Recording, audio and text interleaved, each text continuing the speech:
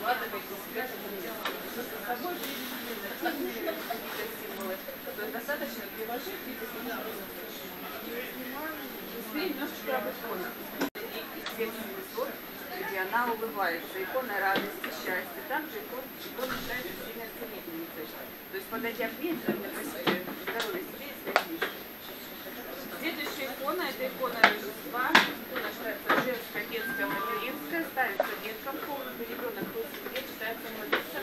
и охраняем под этой иконой. Но если это еще девочка, нам передается икона сверху.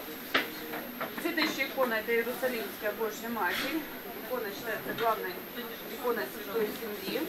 Лик был написан на 15 год после Вознесения Иисуса Христа. То есть это одна и та же икона, просто разные периоды своей жизни. Здесь ей 15 лет, а этот лик был написан 15 год после Вознесения Иисуса Христа. Следующая икона – это икона Древа жизни. Икона считается мужской, передается по, мужской линии. Здесь Иисус, 12 апостолов, каждый из них что-то означает. Повторюсь, по мужской линии. Следующая икона – это Святое Семейство. Икона говорит сама за себя, э, чтобы семья была крепкая, взаимопонимание между супругами, детьми и родителями. Еще такой иконой молодых благословляем на брак. И последняя икона – это Благовещение, чтобы у вас в доме были только благие вести, но еще перед этой иконой молятся детей, на которых проблемы зачатия. Немножечко о символике. Вот Иерусалимский крест, сейчас я вам побольше покажу. Это считается символом Святой Земли. Вы этот крест заслужили, вы прошли по святым местам, скормили голову, а вы вправе его носить. Ни в коем случае этот крест не крестильный, вашего нательного заменит, то считается как дополнительная защита со Святой Земли.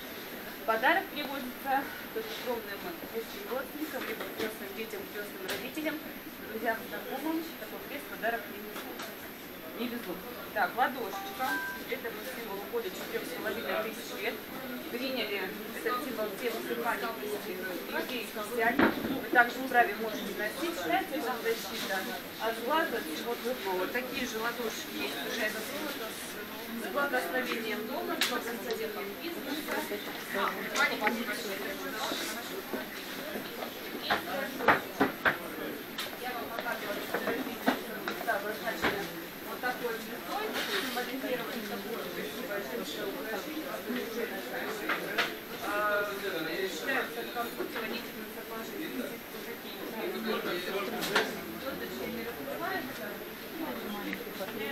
Наружная, вот так,